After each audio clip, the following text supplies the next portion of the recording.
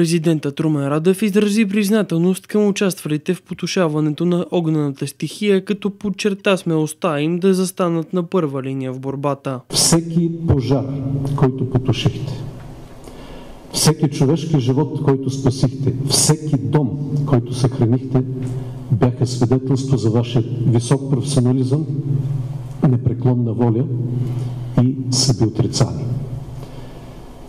Тази тежка битка вие оставихте на заден план вашата собствена безопасност в името на сигурността на другите. Вие бяхте лъчът надежда, на който хората се оповаваха и търсиха. Президентския знак получи и главен комисар Александър Джартов за постигнатите постижения в борбата с опустошителните пламъци. Имахме тежки пожари, които продължиха със седмици.